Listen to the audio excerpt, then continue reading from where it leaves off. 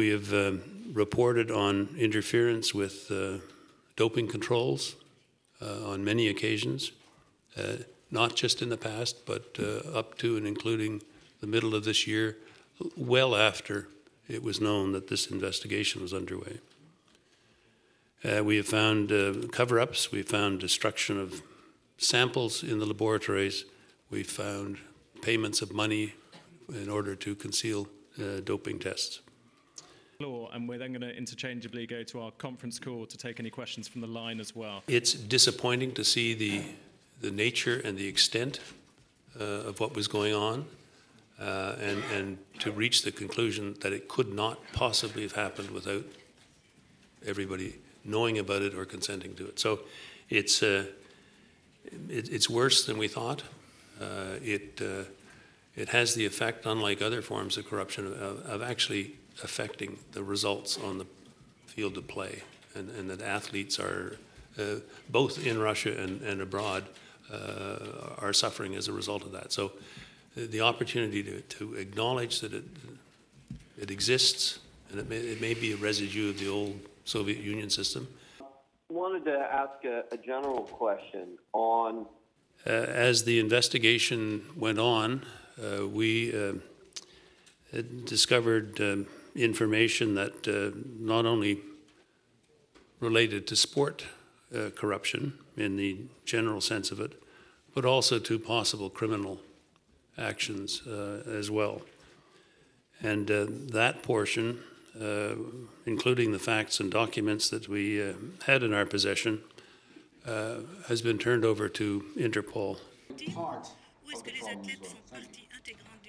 Uh, after reviewing it, the Interpol Uh, authorities uh, referred us to the French authorities, and the French authorities uh, have agreed to take up the matter. As I say, we, we, we certainly do not think that Russia is the only country with a doping problem, and we don't think that athletics is the only sport with a doping problem.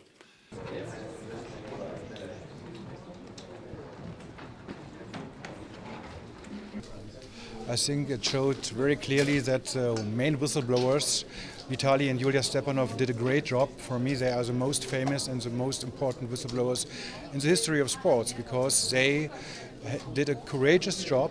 They tried their best to release and to reveal doping in uh, Russia, and this was really, really risky for them.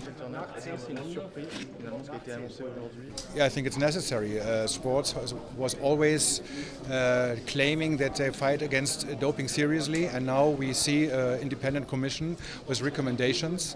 Russia is obviously a really big, big, big issue, and uh, they don't follow the WADA code, so it's quite clear for me and understandable that they have to be expelled from the Olympics and the World Championships.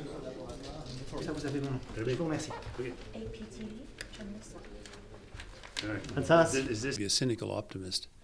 Uh, this is not good. Uh, it's something that's been suspected all along. Um, I think a lot of people say, well, uh, you know, in, in, Russia, maybe it's state sponsored or state supported.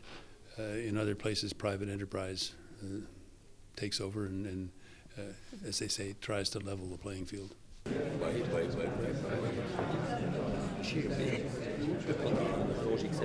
I, I, we, our conclusion was they can't not have known, and, and in Russia that, you know, uh, that that kind of silence is consent.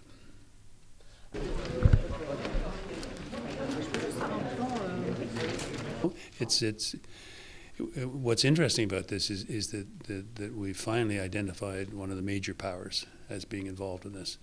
Uh, it's not just you know small countries or little pockets of that. This is this is a major sporting country. Uh, it's got to be a huge embarrassment, even though it's confined to uh, athletics.